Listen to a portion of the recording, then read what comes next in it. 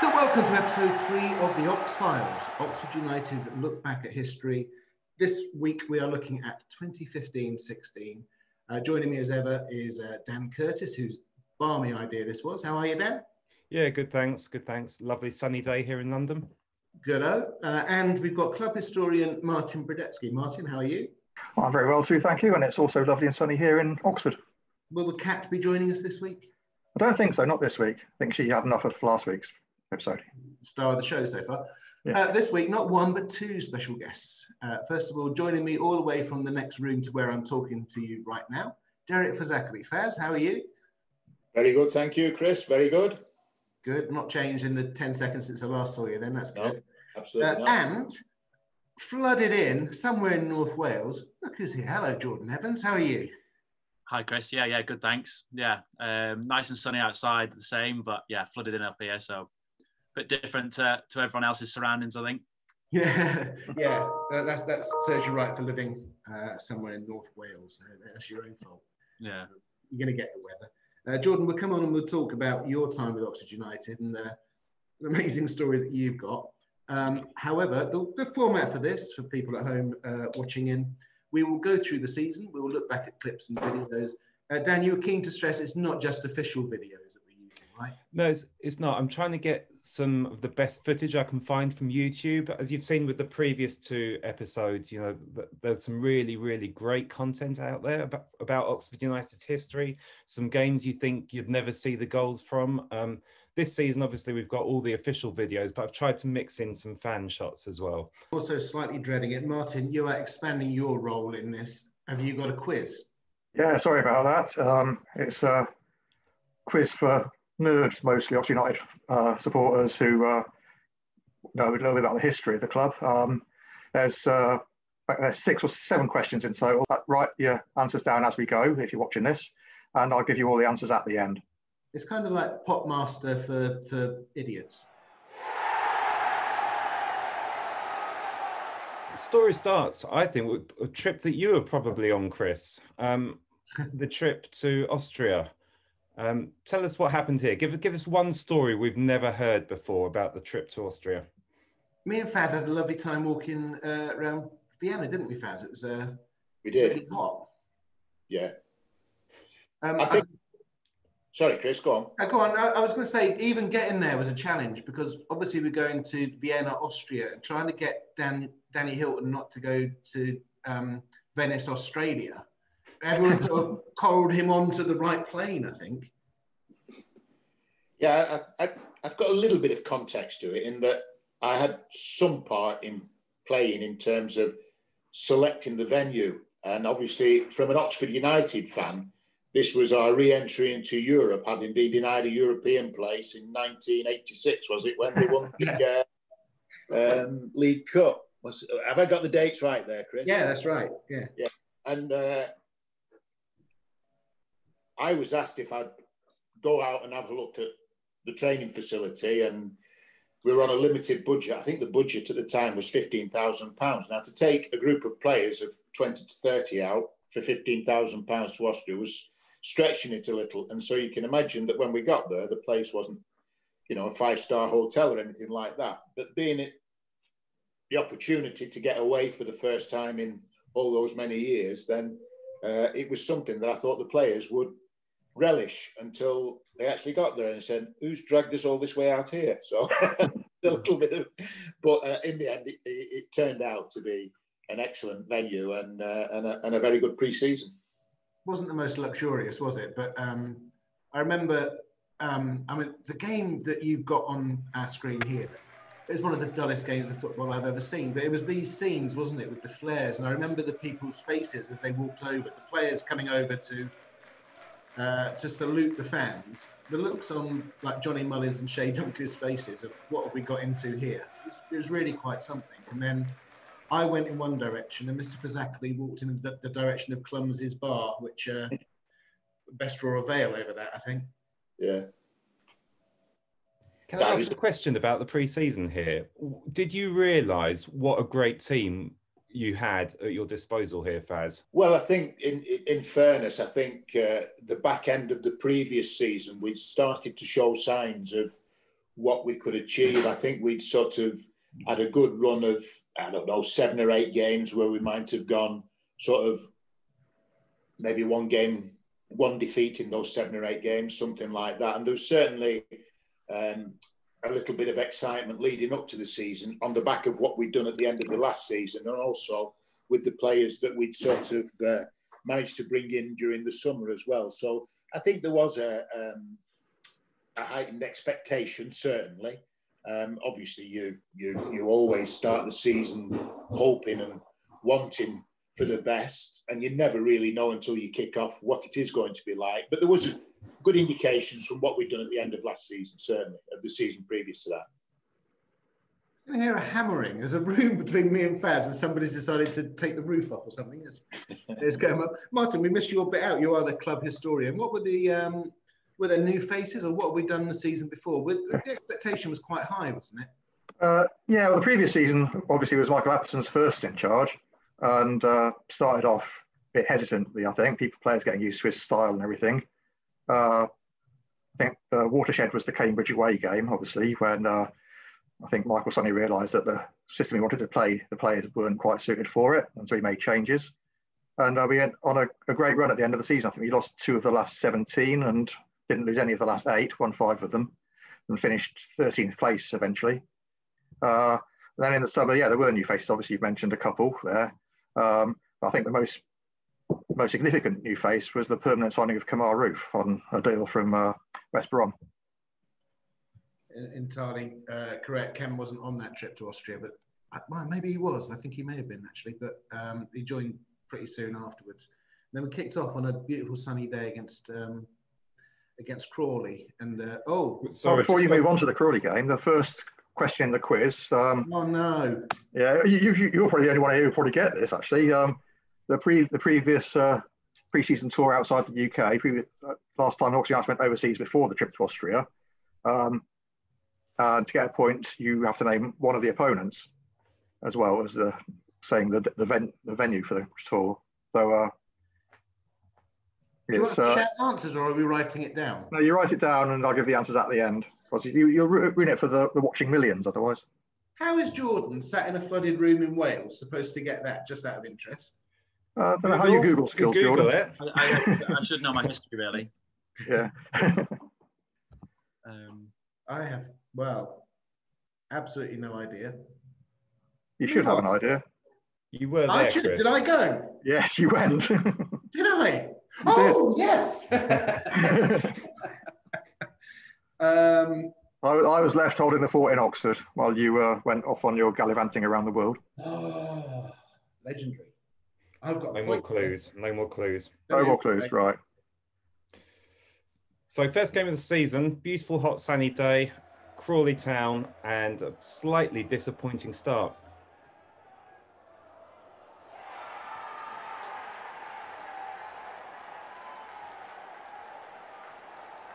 Yeah, defensive errors. I blame Faz.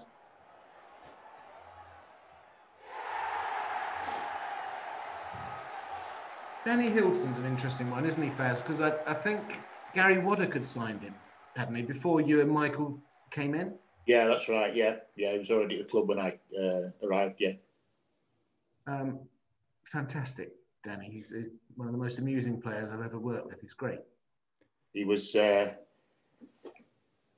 I mean, he turned out to be an outstanding striker for us that season, but he could be the most frustrating person in the world as well. You know, some of his decision making on a football pitch was similar to his de- decision making off the football. Sometimes he, I don't know, jump on a bus with car keys and wonder why he wasn't driving and stuff like that. You know. remember him drawing. The referee was injured in the game and fell over, and he grabbed the um, the marker paint that they do the ten yard thing and drew the body around it like a murder scene. Do you remember yeah, that? Yeah, yeah. what a man! It was. It was good company to be in, always moaning, always groaning. Like I say, um, certainly a nuisance on a football field. Had the nice little habit of being able to wind the opposition up, and of course he chipped in with his goals as well. And his work ethic was absolutely unbelievable. He'd run all day for you. There's absolutely no doubt about that. Um, and the only thing that he was worried about at all in his life was his hairline, which uh, he, he's struggled with ever since. he's, he's given up the battle now. He's got a shaved head, I think. But uh, uh, he, he watch the goal celebration. He does that. It's no good Yeah. to listen to the podcast, but he pats his hair down for the pictures every time. Brilliant. Yeah. Jordan, he could have used you, couldn't he? Could have used your barbering skills. Yeah, I'm a barber, not a magician. So Very good. But that's not the game that I remember from the start of the season. The uh, yeah, there you go, brilliant. The game at Brentford. That's when I suddenly thought, okay, we are good. Um, Brentford were no slouches at that point, and then we really totally outplayed them, didn't we? I think we were about three goals up in about 10 minutes, weren't we? Yeah. And then obviously Kemar chips in with one from the halfway line or not far from the halfway line. Is it here? I think. Yeah, this one.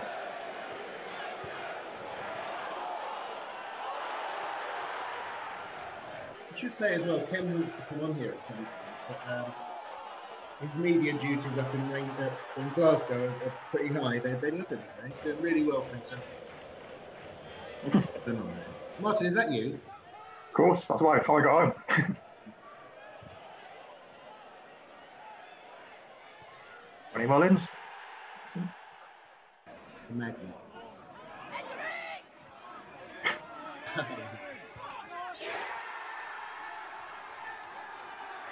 Danny Mullins started off scoring loads of goals, then he forgot how to do it, didn't he? he They called him Magnet, didn't they, for a while?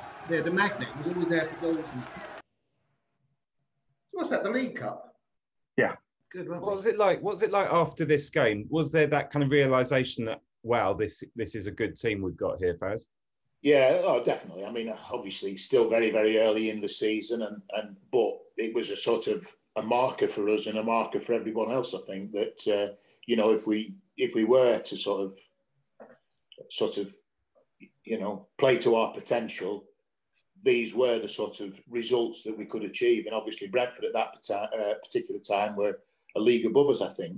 Um, don't think they were in the championship then. I think they were in League One then, but nonetheless, it went there uh, three goals up in the first 10 or 15 minutes, whatever it was, um, and continued to pretty much dominate the game and ended up winning 4 0.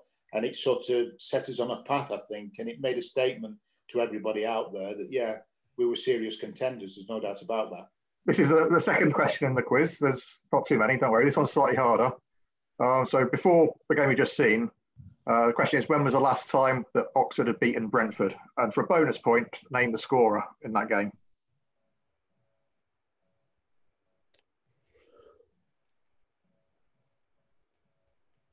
wow. Hmm. Can we get the cat back on? Next game, we are losing with minutes left, and then uh, our other striker pops up with this one. I remember him doing that because he misses it first time, doesn't That's he? right. Yeah. Tell us about Pat Hoban, Faz. What what was he like to work with?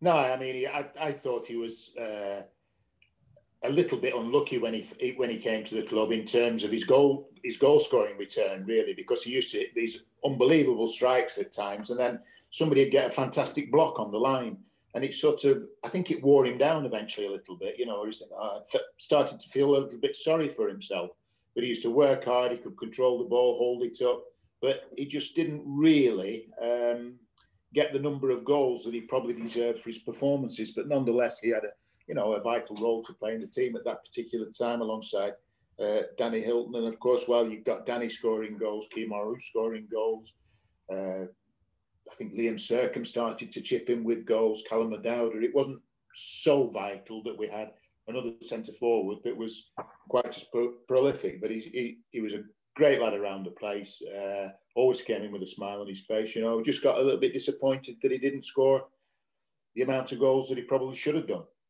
The fact, that, the fact that Oh. he's there, Faz, implies to me that you've got a Hylton, Hoban front two. Where's Kemar Roofe's best position? Even now, where is his best position? Well, somewhere near the goals, that's for sure. Because I mean, he played out in a wide position for us. He played as a number ten. He played alongside the striker. I mean, I think he's got the ability to play in any of the forward positions because he has got the ability to go past people if he was playing in wide areas. He has got the ability to score goals both with his feet and with his head um, if he was playing in a central position. So, you know, I think um, his preference would obviously be to play alongside a striker, I would think, where he'd have more opportunities to score. But you saw in the goal against that he scored against Brentford, the opportunity from that uh, distance to score a goal. Um, it was something he was always looking for, and, and he was just a fantastic player for us at that particular moment in time, and very fortunate to get him. Jordan, what was he like to play with, Kemar? Uh, I found him quite easy to play with because he always wanted the ball. If he ever played in front of me, he always wanted the ball, um, and he sort of he, he, knew when to dribble, when to pass it, um, and he just had an eye or like a, a knack of being in the right place at the right time and scoring these goals. Like he scored loads of spectacular ones, but he also scored a lot of simple ones as well. So he just had, as, as Faz said, I think he just had that knack at the time of being, you know, in the right place at the right time and to play with. He, he was, you know, for, for me, when I got my head up at left back, say, he was someone who always wanted the ball off me, which was, yeah, nice to have in front of you. Same thing with Callum O'Dowda, who played a lot of games left wing in front of you. Yeah, yeah. Callum was the same. Callum was a bit more of like um, if he played on the left, he was more of like an old style winger because he was left footed playing on the left side. And with me, I used to be a winger when I was younger as well. So it was easy to play with Callum because we were similar sort of players in in the fact that we could both play. If we both played on the wing, we'd play that old style sort of winger. Um, so if I ever went round him, he would tuck in, and vice versa. And yeah, he was he was easy to play with. Callum, to be fair, um, obviously lightning quick as well. So you know, an intelligent footballer next question in the quiz. Uh, so uh, while he was with Oxford, uh, young Patrick had two loan spells away from the club, two different clubs. Uh, it's just one point, I'm afraid, but you have to name both clubs that he had loan spells away at. I feel like this is one I should know. Mm. Uh, yeah, you might as well call this pointless because that's what I'm going to be at the end of this. um, where's the sort of place he might have gone? Well, I can't tell you that. I can tell you the sort of place he might have gone, but where he didn't go, if that helps. A football club called O'Neill's. um, I haven't a clue. I'll put there. Hmm. Oh, you talked about Kemar Roofe. Hmm. Going a man down. For those watching on the podcast, we're watching um, Game Away at Bristol Rovers, where Ball gets laid back to Kemar Roofe, who. Oh, what a strike by oh. Roofe! Smashes it, basically. It was a great goal, wasn't it? This was late on as well, wasn't it? This was like with a few minutes left. Yeah, probably. I mean, I'd, I'd like to say about 88th minute or something like that, or even going into injury time.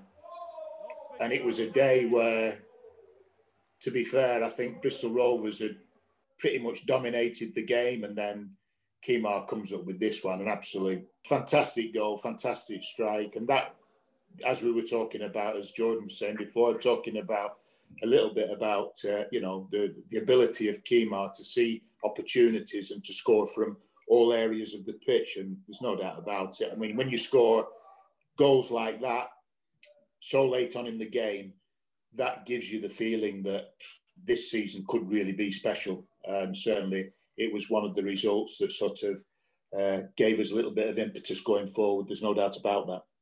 I came out of the shade of the stand, the press box at the top of the main stand, and we were sat in the shade. I came out of there, and all the Oxford fans were bright red because it was a really hot day. They were, they were burning up on that terrace over there. Yeah, yeah. It was on Sky this match as well, wasn't it? Was there any clamour for Kemar Roofe from from bigger clubs at the time? He'd obviously had a great start to the season. He'd been scoring some spectacular goals. He'd had a great kind of finish to the end of last season. When were people starting to get interested in him? Was there any kind of had you had any contact from other clubs, Faz? Well, not not to my knowledge, no. But I mean, obviously, um, the way agents work these days. And don't get me wrong, I mean, I think we we did a deal with West Brom, which was a good deal for West Brom. It was certainly a good deal for Kemar, and of course, once he did sco- uh, start to score goals, uh, particularly as the season went on, and then obviously there was interest from other clubs and and obviously clubs higher up the leagues than than than what we were, and there was no doubt about it. We knew that we would have, if he continued in the same vein of form, which he did, then we we would have a major problem keeping hold of him. But uh, in fairness, he came, he stayed for the season, did what we wanted of him, and and of course achieved promotion. Are you surprised he's never played in the Premier League? Yeah, I am a little bit, you know, because you see uh, some of the qualities that he has, and uh, you know, as we talking about before, you know, his ability, you know, to go past people, he can one-touch finishes, uh, long-range shots, tap-ins from inside the six-yard box. He has that uh, variety of goals in him, um, and of course, he's got the physical attributes as well, plus the intelligence, as we were saying, you know, about being able to not only have the ability to beat players, but also play a simple pass and just running behind and and and wait for the return. So a little bit surprised that he's, uh, you know, but I think he probably would have got the uh, the chance at Leeds, of course, because they got um, promoted. But he he took the opportunity at the end of his contract to move to uh, Belgian football. Next video. Um, one of my favourite away performances ever, I think. I mean, I, I took my neighbour to this game, who's an Arsenal fan, and uh, he left afterwards saying, that's one of the best games of football I've ever seen. Um, it was amazing. If you ever,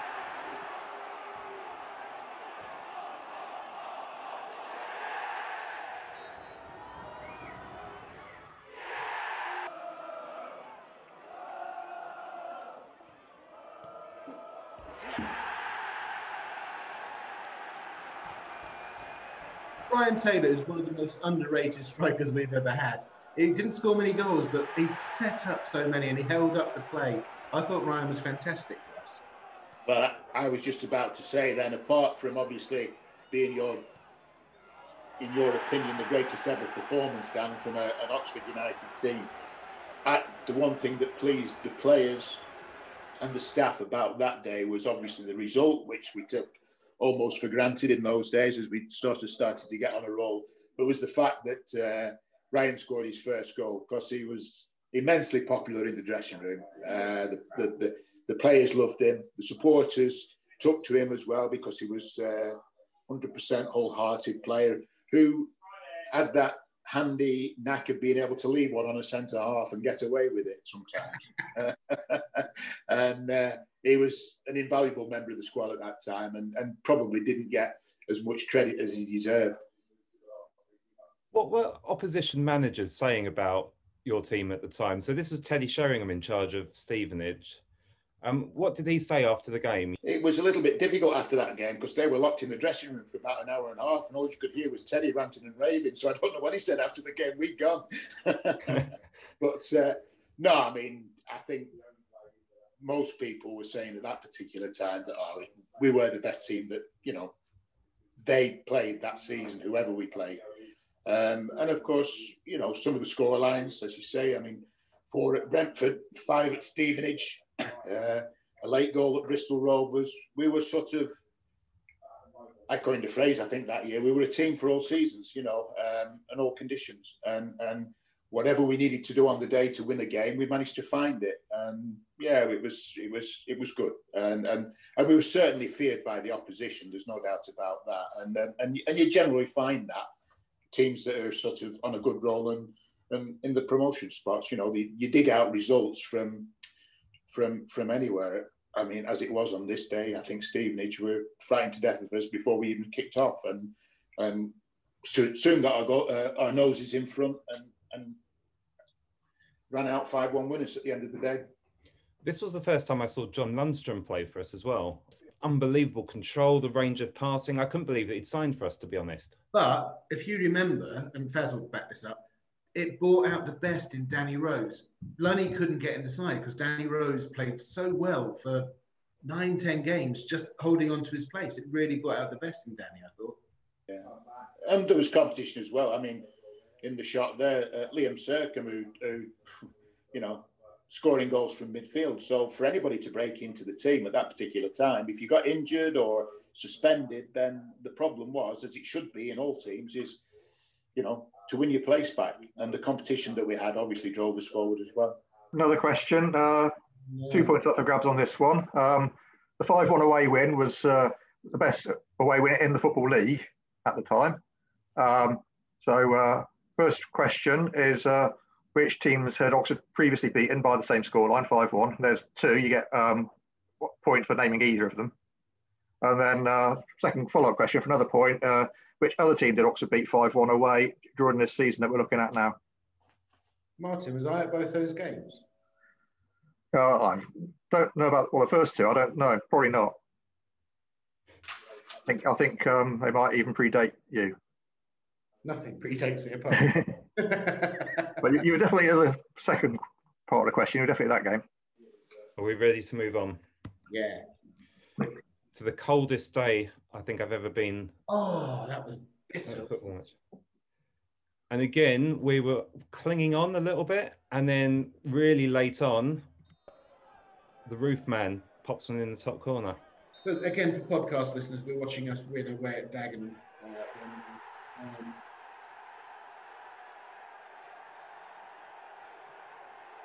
yeah. I mean, that, that again shows his versatility. In the last game against Dagenham, it shows you curling one in with his left foot from the edge of the penalty area. Here he's striking one in with his right foot, albeit a free kick from the edge of the box into the top corner. Uh, some unbelievable finishes. I mean, I've forgotten half of these, but I mean, that's expected of me now at my age. So you're doing better than Brian Horton, who couldn't remember a single game last time. So you're doing better than Brian.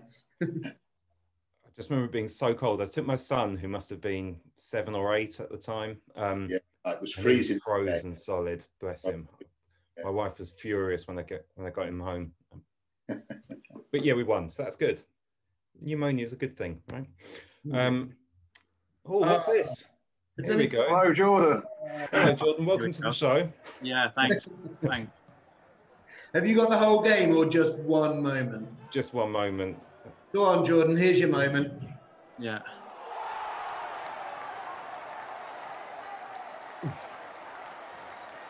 Yeah. Go on, talk us through it, young man.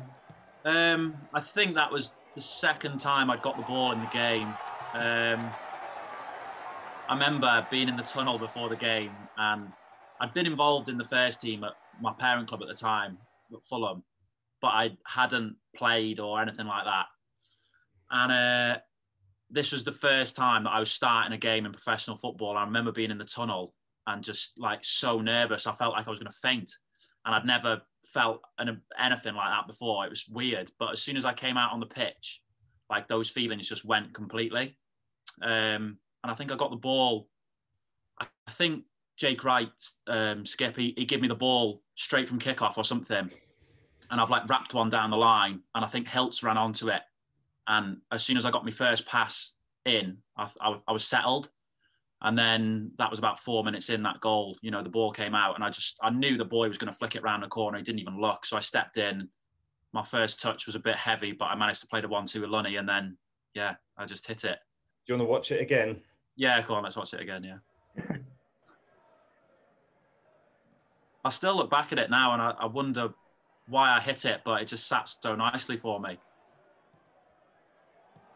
Yeah. So. That's a great first goal, to be fair to you. Yeah. You look, As, you look as though you've cut across the ball there as well, Jordan, which I didn't realise on the night, actually. But it, yeah.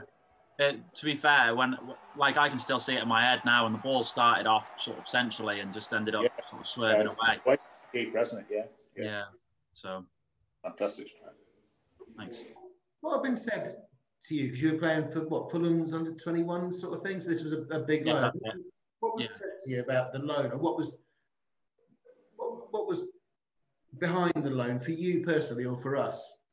Um, so I'd wanted to go on loan from well from from the beginning of well from the end of sort of last season. Um, and I just wanted to get first team football. I was 20 at the time, I think, and you know, as a young footballer, you, you, see lads around you like 18, 19 playing first team football, and all I wanted to do was play first team football. And I turned 20, and I remember I was on the bench for Fulham uh, when I was 19, and I was hoping that I was going to get on, and I ended up not coming on. And then I got my the, the loan move to Oxford came about, um, and I didn't really speak to many people at Oxford before going there, but everyone I'd spoke to who had been involved with the club, I spoke to Ryan Williams, um, who you'll all be familiar with. He was at Fulham at the time, and he said it was an amazing club. Um, and my agent at the time was, you know, speak, spoke very highly of the gaffer, Michael Appleton. Um, and I just thought, yeah, perfect fit sort of thing. And obviously Oxford were flying. And I remember my agent saying to me that how Oxford, how well Oxford were doing, and it would probably be one of them where you know I went and I'd have to work my way into the team sort of thing, and that was fine with me. You know, I just wanted to be involved with a first team environment day in day out, um, and that's what happened. I, I came came to Oxford and I spent well, obviously I said before my first game was Hartlepool away. Um, that was a good experience. You know, it was, it was, that was proper men's football, proper professional football. Um, I think we won one 0 that day. Yeah. And then I think I came on the weekend after we played Forest Green in the FA Cup, and that was my debut. I came on for 20 minutes against them. I think we were 3 0 up at the time when I came on and did all right when I came on. Um, I was I was happy with how I did, and then started a couple of days later against Yeovil in the Cup. So uh, yeah, it was a bit of a whirlwind really, and you know that was that goal was like the best feeling I've ever had at that time. So yeah, it's awesome. Were you surprised at the, at the quality of the team? Yeah, I was actually. Yeah, um, if I'm being completely honest, I was. I was wasn't surprised in terms of like I didn't expect good players because I expected good players, but I didn't expect them to be that good, and I didn't expect the football that we were playing to be as fluid. You know, um, I think a lot of people in football now talk about you know academy football where it's all like play, play, play, pass at every opportunity. Um, but when I came to Oxford, we played really, really good football but the lads could mix it as well. Um, and I just thought it was uh, the, the perfect balance, you know, like Jake Wright, who's I called him Skip when I was there. I didn't even know his name for like two months because everyone called him Skip. Um, he was just the best person I've ever met in football. He was amazing. I, I, can't speak highly enough of of him. You know, as soon as I came in, he, he helped me with everything, and as did all the lads. Um, so yeah, it was it was just really really good environment to be in, and as I say, that the the football that we played at the time, um, whether I was involved in it on the pitch or whether I was, you know, on the bench at times and watching it, it was it was really really good stuff. Like really good stuff. You're dead right about Skip as well. Jake would look after someone like you coming in, make sure you're settled. Yeah. Up at his house for the uh, for a couple of nights. He had time for everybody. He's a brilliant captain, wasn't he? Yeah, he was fantastic. Yeah, he was really really good. And what was Michael Appleton like? We haven't really mentioned him so far on this on this pod. What was he like as a manager? He was fantastic with me. Um, different manager to, to anyone I'd experienced before. Um, he was absolutely brilliant with me. He, he came in and he always had time for me. Like every sort of couple of days or every week, he'd he'd always pull me and have a chat with me about certain things which he felt I could do better or things that he wanted. So you know, I never went out on the pitch and and Faz was the same as well and I never went out the pitch like not knowing what my job was. Um, I remember the, the one time because as a, as a left back, I was I was sorted going forward. Really, all the attacking side of my game was was okay, but defensively, that was where I needed to get better, and that was where I needed to be stronger. And I remember the gaffer saying to me, told me, and he, he said that I needed to. He said just get tight, as tight as you can to people, and I remember taking that into that Yeovil game, and I played against the winger. I can't remember what his name was, um, but I remember just getting tight to him in the first five minutes, and he like let one run through his legs, and it went out for a throw in. And subconsciously, in in my head, I thought that's happened because I got tight. That's what the gaffers told me, you know. Um, so I just kept doing that and, and tried to do it as best as possible, obviously. So he was really good to me, really good to me. The thing I remember, Faz, is um, you would travel back to your home and he would travel back up to Preston after home games. You'd travel up together, wouldn't you, and kind of analyse the game and talk it through? Well, there wasn't much analysis. If we won, we'd have a little bit of a chat. If we'd lost, neither of us spoke for about an hour. And the BGS, is uh, his wife to be in the car at the back, sort of trying to make small talk. what should we have for lunch tomorrow, Michael? And all this, that, and the other. so, yeah, but, but it did give us an opportunity at times, obviously, because we were travelling together to to have you know discussions away from the from the from the football environment in terms of your working environment and just have time with each other to sort of sit and discuss things in depth and and and and and, and come to some sort of conclusion, you know. Um, so it was it, it, it was good in that respect, but obviously, you know, when you get things, when you get momentum in football, it's it's it's it's strange how you know things tend to look after themselves. And as Jordan was saying there, you know, you got your opportunity in the side, and if you know you were brought into the team for because of the strengths, of course, we wanted to improve the weaknesses, the odd little weaknesses. But but but basically speaking, it was people playing to the strengths. And one, once we got the ball rolling, then we didn't have to take some stopping. Talking of which, do you remember this game? Was this uh, New Year's Day? I think. Yeah, it was a pivotal yeah. game, wasn't it? Because we could easily have lost that one. Could have lost the momentum, I think. But Danny Hylton's ability to win a penalty. So this is the Notts County game for people who are listening to the to the podcast. Uh, we were one 0 up and then two one down with not particularly long left. I was listening to the game, convinced that this was our wheels coming off, um, and then suddenly it all turned round.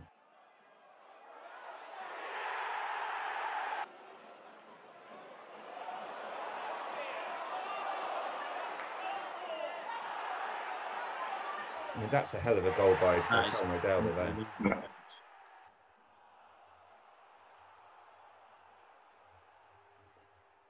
Was that the Hoobinator again? Yes, it was. Yeah, that's him. And another unbelievable strike by Roofe. Yeah. Just remember, you're setting yourself up for a fall calling yourself the Hoobinator, aren't you? So... I think this was the game where I was actually convinced we were going to go up after this game. Mm.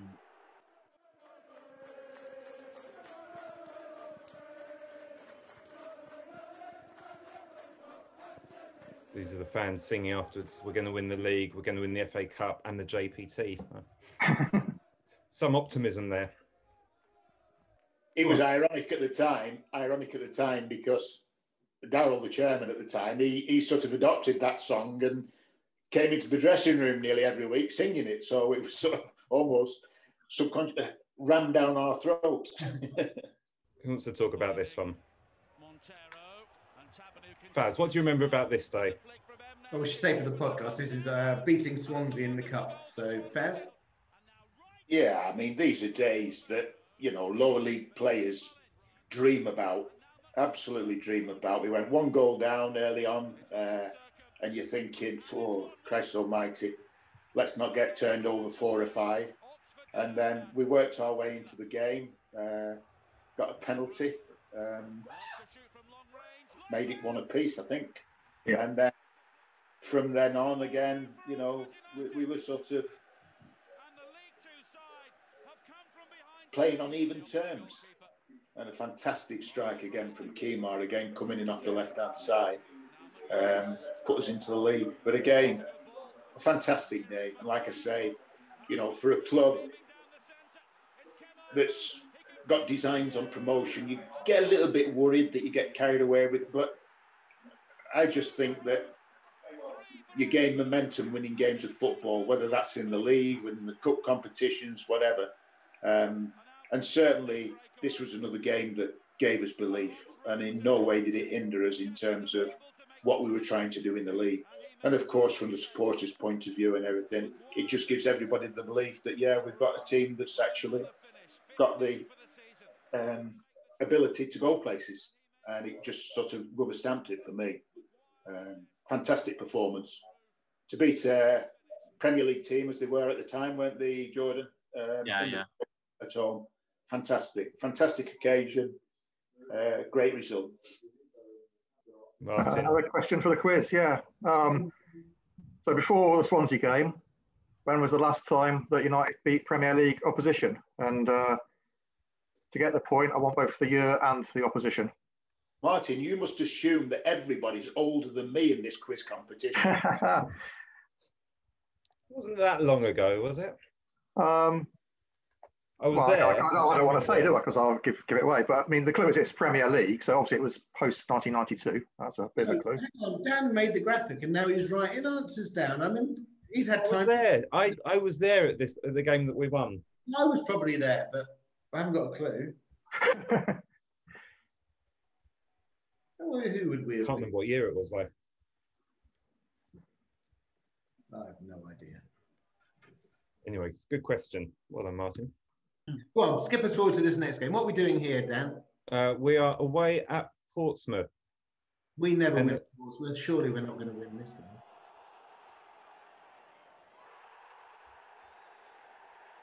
Danny Hylton spends a lot of time up in the air, doesn't he? Down on the ground. And then on the ground. oh, he's hurt. That might be the end of it. Hang on, he's patted his hair down. He's up. I'm going to say something controversial here. Liam Sercombe was a terrible penalty taker, like really, really terrible penalty taker. There must have been like people queuing up to, to take the penalties off him, Baz. Maguire would have been. There was, there was, there certainly, but I think he must have had something in his contract which I wasn't aware of. So we let him carry on with it. I mean, he was rubbish at them, right? I'm not, I'm not just making that up. They always seem to go straight down the middle and like double kick Yeah. a lot of the time.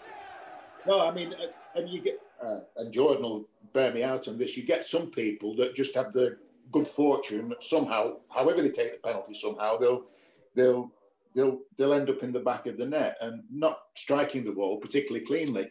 And sometimes by not striking the ball particularly cleanly, it sort of throws the goalkeeper a little bit. And you get other people who strike the ball really, really well, but the goalkeepers read it and, and, and manage to make the save. I couldn't say that. Uh, Liam was one of those that struck it really well, and the goalkeeper made the save because he didn't. But uh, yeah, I mean, we had one or two penalty takers or people who fancied taking penalties at that particular time, but for what, for whatever reason, he had the job. Jordan Bowery came off the bench that day to score that the winner, didn't he? Yeah. Yeah. Yeah, yeah. He was a good player, Jordan Bowery. The, the thing that I think about this team is every time you know we're on a good run, or we, we just seem to make the team stronger all the time with our signings, and Bowery is a really good example of that. Yeah, well, I think what we tried to do obviously was, you know, look for a certain type to complement the players that we had. Unfortunately, when you're when you're on a good run and you're doing well, then it's a lot easier to attract those players. Um, you know, they've got they're proactive in wanting to actually come and join you, which makes life a lot easier. Um, obviously, when things are not going quite as well, to get the players that you need to get you uh, going forward again is sometimes a little bit more difficult because you know they look at where you are in the league or the position or the way you play or whatever, and, and no, not for me. Um, but at that at that particular time, you know, if Lionel Messi was available, he probably would have come and joined us. That's exaggeration, I know. That's right, buddy. I, I feel like the the team at the time, I, I've obviously you had Rufi and who was scoring brilliant goals and, and things like that. But I felt every single one of the, the, the team at any time never felt like we were going to lose a game. And I felt like if it wasn't Rufi who would dig you out, it would be Hiltz. And if it wasn't Hiltz, it would be, you know, Jordan Bowery came off the bench and scored that one. I felt like we had a lot of players who were able to dig you out. If you needed a goal, someone could do it. If you needed someone to throw themselves in front of a shot, you know, we had Mulls, we had Skip, we had Chey Dunkley, who would all put their bodies on the line. And I, I just felt like we, we had a team of players who could really, you know, grind out a 1 0 win, beat a team 5 0, and, you know, just as Faz said before, I think it was a team for for all seasons, really. Had a, had a bit of everything. Like your your first game that we've already, you know, the, the one at Hartlepool was a one 0 win, wasn't it? That was Yeah. a game and you know difficult conditions, windy day, wet, Very. Hard- yeah. and you know you, you know you, your mindset has to be right before the game. Unfortunately, when you're winning games, it's it's a lot easier to find that mindset. You know, so Skipping on a little bit, the, the JPT run was that a distraction at all? me personally, I just thought it just added to the momentum, you know, and kept um, everybody in the squad involved. You know, you were able to give um, players who might not have played regular league games an opportunity in these games. And of course, the nearer you get to Wembley, the one thing you want to do is actually, um, you know, play there and play in the final. Um, and ironically, I thought actually it was the game after the Wembley game that probably um, where we suffered a little bit rather than the games leading up to it. I think the games leading up to it, it just continued to build the momentum and and and give us the confidence that the team needed to just keep on playing and doing the things that we were doing that were making us you know such such a, um, a successful side, and the, and the cup runs uh, both in the FA Cup, the League Cup, um, and obviously the the Johnstone's Paints or whatever the trophy was that season. You know, I think these games helped us build momentum. Um, and the players really, really looked forward to them. But I don't think in any way it distracted us from the main get the main aim, which was obviously to get promotion. The semi-final had we beaten Millwall in the semi-final? Yeah. Yeah. Over two legs. My Favorite memory is beating Millwall the home game. I think we drew the home for the second leg, and I remember everybody sitting in the bar afterwards till very late at night. And Kemar Roofe as the DJ, and that was a brilliant match. Remember that? That was brilliant. I remember that. Yeah. I think uh, I think that went on till about three or four o'clock in the morning, didn't it? Yeah, definitely. It was great. It was, it was one of my favourite because the party after this was rubbish, by the way. But the party after Millwall, the impromptu one, was great. Jordan, you, you talked about you've come to Oxford, you've had your senior debut, you've scored a tap in against Yeovil. Then suddenly you're playing in front of 56,000 people. Look at the nearly scored there, didn't you? What was going Yeah. on? Look young there, don't I? Wow. Um, What was the experience like for you know? start- start to- well, I say start to finish. Obviously, losing the game was absolutely devastating because I felt, I really did feel like, especially first half, we were the better team, um, and I felt like because Barnsley obviously went up to the championship at the end of this end of this season, but I felt like we were, we we could have won the game, sort of thing. Um, I, I just think that that the whole the whole build up to it, the, the lead up to it, and everything was fantastic. You know, I remember going to um, I can't remember what it's called now, but we went to a place down in High Wycombe where we'd been training a little bit.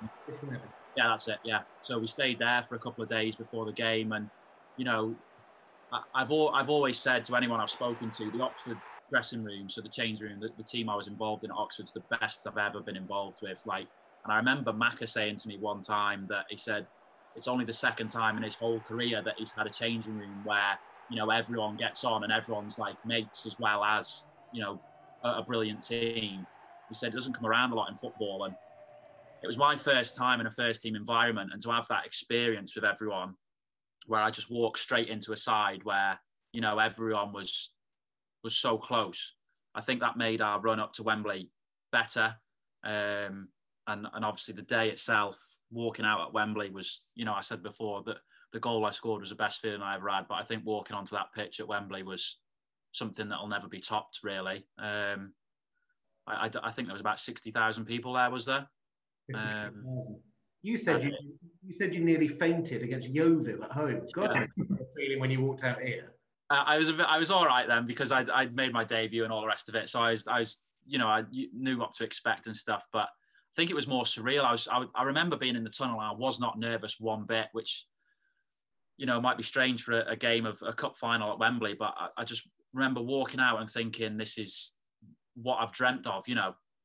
Um, and I remember playing in the first half, and I, I, I felt like I was playing really well in the first half, and I, I can just remember wrapping passes into into Roofy and, and Hiltz up front, and um, obviously Callum scored, and I, so so hard to describe. But when we scored, the place was so loud, but it was like silence as well, if that makes sense. I was running towards Callum to celebrate, and you know it was it was just a mental feeling to go one 0 up at Wembley with thousands of people screaming, and it just crazy. But yeah, it's an awesome day. I was obviously devastated not to not to win the win the final because I felt we could have won it, especially when we scored. I think Hilt scored a header um, to put it three two, and I felt like we'd go on and, and, and nick an equaliser and maybe push it to extra time, but wasn't to be, you know. And after the game's all well, as soon as the game finished, it's all a bit of a blur then because you know it's it's over. But it was um, an amazing experience for me, nonetheless. Yeah. I think the thing about it, and and and, and I think Jordan would probably agree with it, is the fact that though we didn't win the game, we did ourselves justice. And there's there's an element of disappointment after the game that you know you've got to Wembley and and you've lost the game, but we're playing against a team that ultimately you know got promotion. Um, it didn't stand in the way of what we wanted to achieve.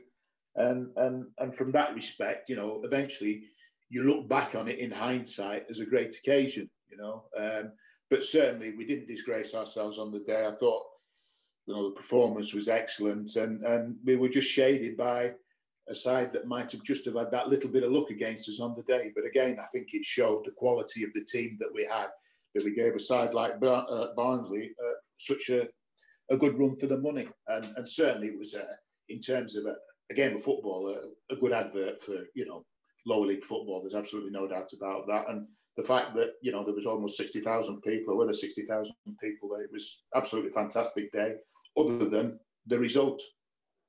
I remember I remember after the end of the game, the gaffer said something which I thought was was brilliant at the end of the game.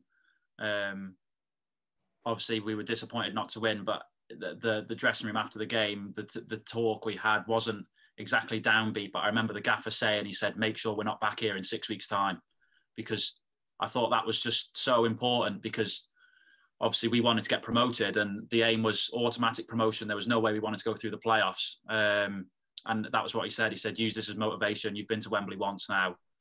We don't come back here in six weeks' time. We go, and, you know, get automatic promotion. And I thought that that resonated really well with the lads. And obviously, as it went, that's that's what happened. So, the final question of the quiz: um, uh, to the nearest thousand, apart from Wembley games, what's the largest crowd that Oxford United have played in front of, and who was it against? So, um, but you get an extra point if you can name the exact date. People playing along at home, good luck to you. Yeah, good luck to you. There's no prize, so don't feel too bad if you don't get it right. You know, that's the. There's no prize. Go and get a prize. No. Martin, what have you been on all night? I mean, where do you get these questions from? uh, Jordan, you're a hairdresser. What can you do with Martin's barnet? Can you, yeah, come on, Jordan. Give me give me a virtual haircut. I wish I could. I um, work anything with that. There's got to be more this well, I've got to guess this question. Yeah. Right. Uh, so I'll repeat it for those listening on the pod. To the nearest thousand, what's the largest crowd that Oxford United have played in front of, not including matches at Wembley? And who was it against? And for a bonus point, what date was it? There's a lot of bonus points in this quiz. Yeah. I had to build it out somehow. Um, Back to the football, quick. Get away from the quiz. Ah, yes. We took a million people to Carlisle away uh, this day, didn't we? This is, a, what do they say? Limbs, I think, is what the kids of today say. Liam Sercombe scores a goal. Limbs. took me five hours to get to this game from London because the West Coast train line wasn't running that day and I had to do a really kind of circular route by train to get there. I wasn't sure how I was going to get home afterwards because there was, there was no train back. I managed to kind of hitchhike a lift home. Well, ironically, I think this is the only time we've used the train when we went to Carlisle that day. But obviously, we were, it was the bank holiday weekend, wasn't Easter? Yeah. But we went the day before. We went right. on the Friday, or if this game was on the Friday, we went on the Thursday but we actually travelled on the train. This was the famous day of the free hot dog, wasn't it? Yeah, Darryl offered free hot dogs. Uh, uh, they, they scouted out. I think Cheryl went all the way up to Carlisle, find a suitable pub, and uh, gave away a free hot dog to any fans who want to go in there. But it was a massive. Must have, there must have been a beer involved in it as well. well I got to the pub and the queue was so long to get either a beer or a hot dog that I got neither. it was a pub around the corner with no free beer or hot dog, but you could get served. So yeah, it was great. It's such a good away day and such a great performance and such a great win. Um, yeah, it's just an amazing, amazing day out. Were you nervous at all, Faz, towards the end? Uh, yeah, of course, you begin you begin to have a little bit more anxiety before the games, and you're hoping that you know the things that you've sort of done in the early part of the season, when it really comes to the nitty gritty towards the end of the season, um, are the lads capable of you know um, keeping their emotions and and and and and sort of playing under that sort of pressure.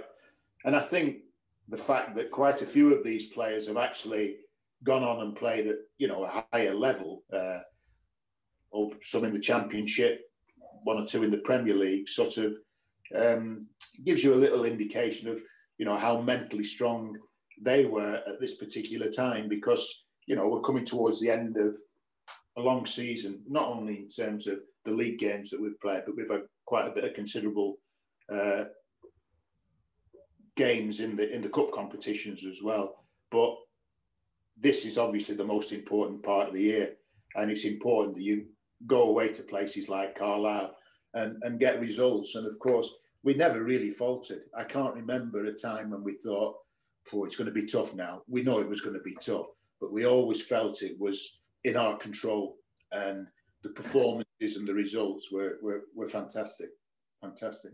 We still needed Loads of injuries at the time, though, didn't we? Um, I can't remember to be honest. I can't remember. Was this the game that Joe Skarz was kind of patched up and I think he had had to sort of step back by at this point. He he played a game earlier in the season on one leg, and we've done a podcast with Scarzy uh, earlier in this series, and he played a game he shouldn't have played, and it, it basically ended his career. Uh, Joe. Well, Joe Joe played all his games on one leg. So no different than any other game. Yeah, I think I was I was injured towards the end of this season as well because I remember me and Scarzy got injured at the same time, and most of the season I was trying to get into the starting eleven, you know, behind Scarzy sort of thing, because um, he was so consistent, um, and you just knew what you were getting with him every single week. Um, he was brilliant for me to, you know, as a young lad coming up to the, the model professional sort of thing to to watch and and learn from. But I was trying to take his spot and then just as it happened, we both got injured at the same time. I think I, I broke my rib at Newport away, um, and and that was it. That was my season season done. Um, but I think I played maybe two or three games um, after the Wembley one when Scarzy was injured. I played maybe three games and I got injured in the third one, and yeah, that yeah. was just a. I think Scarzy was injured for the Wembley game, wasn't it? What's that? Sorry. I think Scarzy was injured for the Wembley game, wasn't it? Yeah, I think he was. He was well. He was carrying a knock for sure. Um, yeah, he was carrying a knock. I, I, think, as you said, I think he was carrying a knock for a while. But him being the, the, the sort of player and professional he was, he just wanted to carry on. Yeah, carry on. Yeah, yeah, yeah. By the time we got to the Wycombe game at the end, somebody had, had to move Josh Ruffels to left back. That's never going to work. Josh Ruffels playing left back. Whose idea was that, Faz? Was that you? Well, we was trying to trying to squeeze Josh in at that particular time. I think. Wycombe game. You always you always find a way. The Wycombe game to finish it off needed a win to, to go up. Um, Big Chey was the man for the occasion, wasn't he? I mean, of all the people that we've mentioned today on the podcast, and we've never mentioned Chey, and what a fantastic character and, and and player he was on the pitch for. You know, at places like Hartlepool and uh, Carlisle and places like that, difficult to away grounds. You know, they were him and Jake Wright were the rocks at the back that gave us the freedom to go forward and play. Uh, and obviously for people like Callum here, who's celebrating the third goal, uh, fantastic occasion the transformation of Chey Dunkley in basically a season where he went from looking like a player who's really almost out of his depth into being this kind of colossus of a defender was amazing. Did you ever ever have any doubts about him, Baz? Were you? Well, not once I had to get hold of him and of um, to take a little bit of notice. no, I mean he, he was he was a sponge was uh, was was Chey and and he'd come from you know non-league football and he was determined to make the most of his ability. And if you spoke to Chey, he would listen to you and he would consider it and he would he would then try and implement whatever you tried to uh, ask him to do. And he was a fantastic person to work around. And he had a wonderful, a wonderful, wonderful personality that was sort of uh, um, infectious, and people used to like him because of that.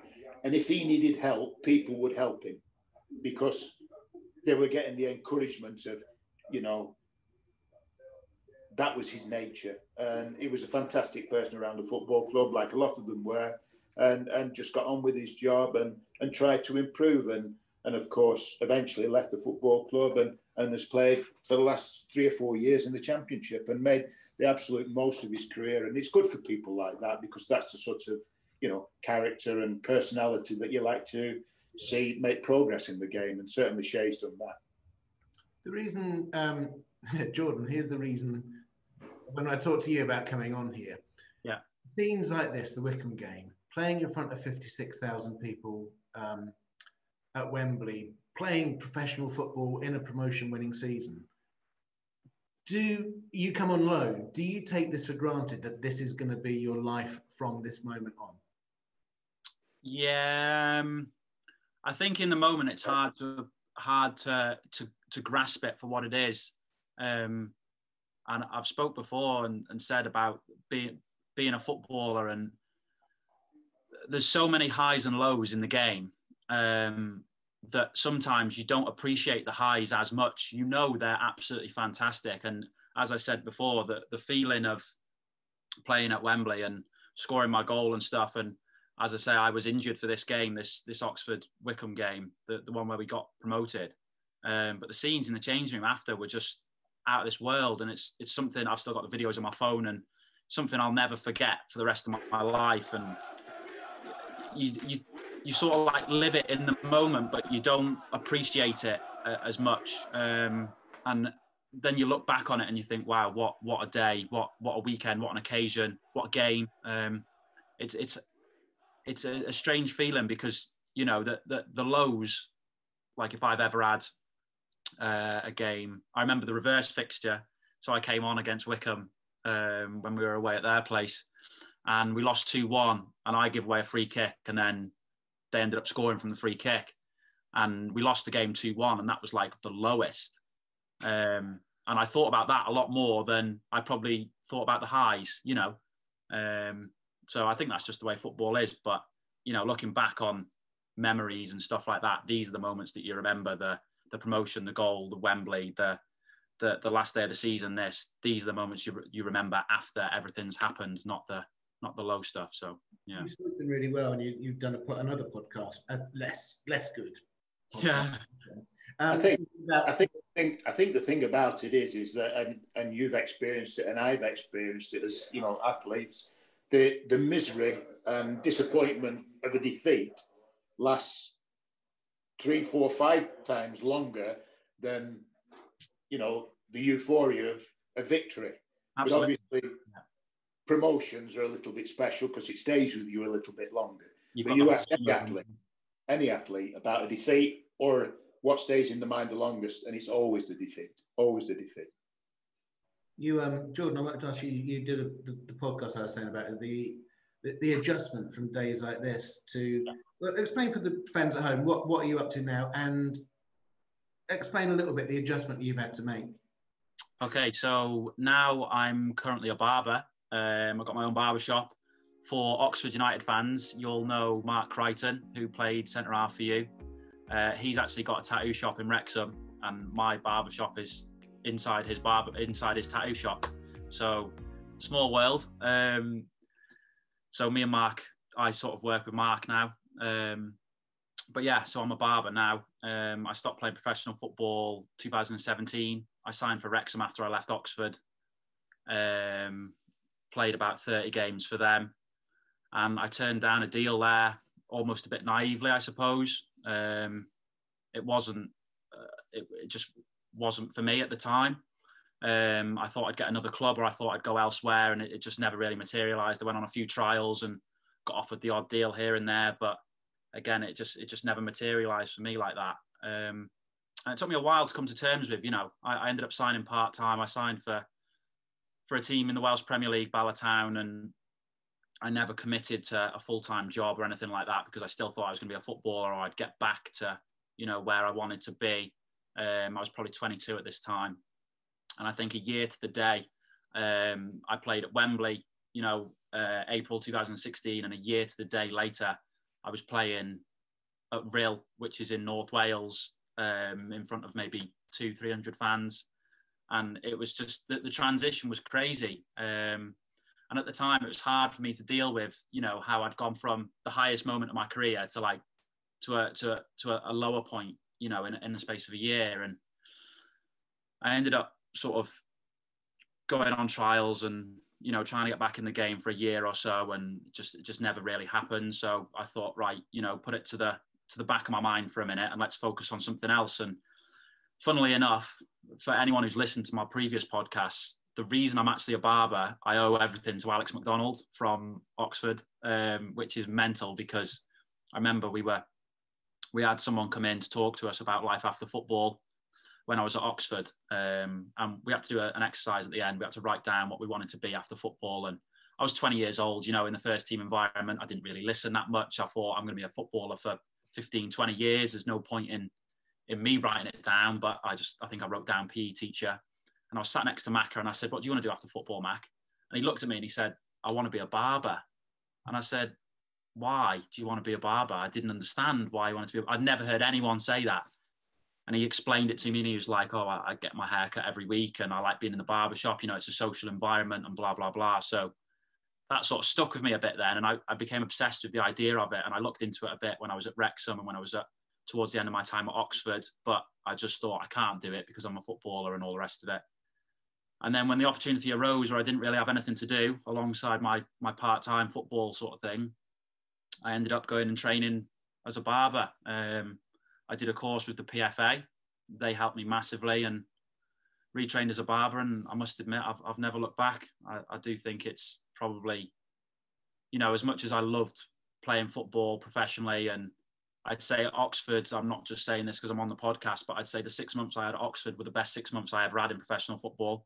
Um, it was just the best time, even though I didn't play probably as much as I'd have liked to the experiences that I had and the games that I did play and the things that I achieved, you know, will stay with me for the rest of my life. In my barber shop now, at the side of my chair, I've got my Wembley shirt on the wall that's signed by all the lads.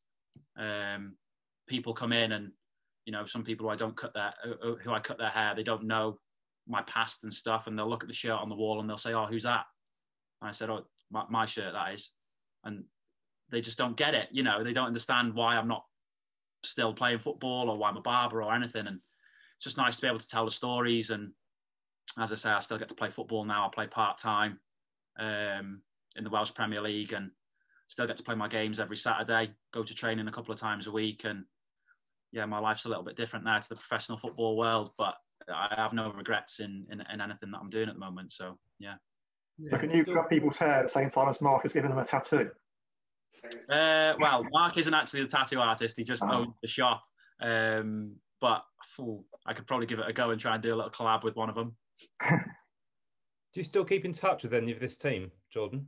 Um, I still follow a lot of them on social media. Um, I wouldn't say that I speak to many of them regularly. I, at the time, me and Jonjoe were like Jonjoe Kenny. We were, I'm sure Faz will remember, we were like inseparable at the time. Um, and we did everything together. You know, we stayed in the same hotel because we were both loan players, and we did everything together. And the maddest thing is, we we, we had um, the awards evening on the Sunday night after the last game of the season. Stayed over in the hotel opposite the ground, and in the morning, it was the end of the season. We were free to go home for the summer. And I remember Jonjoe had got up early and gone back to Liverpool. And uh, I rang him and I said, "Oh, have you gone?" And he said, "Yeah, yeah, I'm, I'm gone, but I'll see you in a few weeks." He said, "Yes, I no worries." I haven't seen him since, and that's that's the maddest thing. Like I, I, we speak regularly, you know. Um, I still speak to Jonjoe quite a lot, but I haven't seen him since 20, 2016. Um, and that's probably down to the fact that you know he was playing in Schalke for a year. He's playing Premier League football now for Everton, and I'm working full time, so it's it's a bit different. Um, I speak to Skip now and again. I've, I've, he follows me on my social media. He's always commented on my my, my haircut posts and stuff. When I put a haircut up, he's commenting saying, "Oh, he looked better before" and all the rest of it. So um, yeah. Um, but other than that, I, I, as I say, I still speak to, still see the boys on social media. You know, that's that's enough enough for, for us, I think, to to see how each other's doing, um, and, and catch up now and then. So yeah. Dan, if I can find it, there's a brilliant video of Alex MacDonald at that awards uh, ceremony. I have never seen a drunker footballer. And Yeah. I foolishly tried to interview him. So it all ended very well. As opposed to this broadcast, which is going to end badly. Martin, you better do the quiz answers. That's okay. So the answers are question one. Before the trip to Austria, when was Oxford United's previous pre-season tour outside the UK? And to get a point, you know, say one of the opponents. The answer was the trip was to the USA in 2012, and uh, one of the opponents was Seacoast United. The other two were Seacoast United Phantoms and Seacoast United something else. But so Seacoast United will get you the bonus point. I'm sure Chris got both of those. Well, yeah, but yes, yes, I got both of those. Yes, good. okay, I can sense a bit of cheating going on. Question two: When was the last time before the Brentford game when uh, the Oxford United beat Brentford? The answer was uh, 1996, uh, January, if you're interested, but 1996 will get you the point. Uh, Oxford won 2 1, and for the bonus point, Martin Aldridge, the late Martin Aldridge, scored both goals. Oh, got Question wrong. three. During his time with Oxford, Pat Hoban had two loan spells away from the club where uh, you need both to get the point. The answer was Stevenage and Grimsby. Oh, I got Stevenage. I, knew got Grimsby. one, but I didn't get Grimsby. I, I got Stevenage, but Mansfield was my other guess. But That was mine too. Ah, Yeah. That's not that far from Grimsby, yeah, to be fair. Question four. The 5 1 win at Stevenage equalled United's best football league away win at that time. Who did they previously beat by the score line in that league? And for the bonus point, which other team did United beat 5 1 away during the 2015 16 season? Walsall. Um, Walsall. Yeah, for the for the first point, either Leyton Orient or Walsall get a, po- get you one point. And for the Crawley. bonus points, the other team that United beat 5 1 away that season was Crawley. Probably, yeah. Yeah, I got those. Full game. Did, Mar- did Richard Hill score four goals, Martin? Um, that He was the did, Walsall one, yeah, yeah, not the Crawley one. I still got it wrong. Yeah, well done. Uh, question five was before the Swansea game. When was the last time United beat Premier League opposition, year and opponent? The year was 1994, and the opponents, of course, were Leeds United. Got the year. Well done. Okay. What about Everton? What about Everton? What about Everton in about 98? Joey Beauchamp scored. Um, yeah, that might count as well. I'll give you. I'll give you a point for that one. Do you mean that might count? That might be correct. Is Uh, question moving swiftly on. Uh, question six. Apart from the matches at Wembley, to the nearest thousand, what's the largest crowd that Oxford United have played in front of? And for an extra point, and who was it against? And for the extra points, uh, the date. So, uh, anyone, if you get those? Newcastle last season? Yeah, Newcastle last season is the answer. The crowd is 52,221. That's what I said. And for the extra point, what's the date, Chris? Can you remember the date? I remember you were really drunk the night before, Martin. I remember that, but I can't remember where. January the sixth. 25th of January, 2020. I wasn't far off. I had No. Newcastle 17th of Jan. Oh, that's, that's good enough. I'll give you a point for that, two points for that. Yeah. If I've lost this quiz to Jordan Evans, I'm never going to do another quiz on here again. That was that was the, that was an educated guess. I knew the Crawley one, I knew the Stevenage one, and everything else was a guess. I've Yeah. got four points here. Luke, how many points did you all get then? Dan, how many points did you get? Uh, four. Four. Christopher? Four. Jordan, how many points did you get? Um, two, really. No, no, no, no. You, you must have got more than that from getting them. Yeah, well, I got. Cro- You know, you said that I needed both teams of Pat Hoban's loan. Oh, I yeah, yeah. one. So Fair point, Fair point. yeah, two really. And Faz, how many did you beat Chris by?